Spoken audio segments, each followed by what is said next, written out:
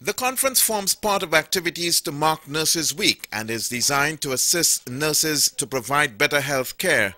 The St. Lucia Nurses Association says it comes against the backdrop of complaints about the quality of health care provided by its members. The association deems this period one of reflection where the healthcare providers can look within themselves and see how they can, on an individual basis, beef up the quality of the healthcare system. We have um, a, um, a, job to do, and that is to uh, provide to the community um, a service above, you know, that is above the rest.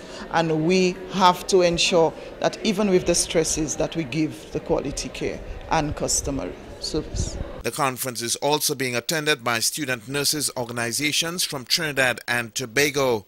We were invited here um, to see the launch because as students we sort of started in about around the same, same area. And we invited to lend some support and encouragement.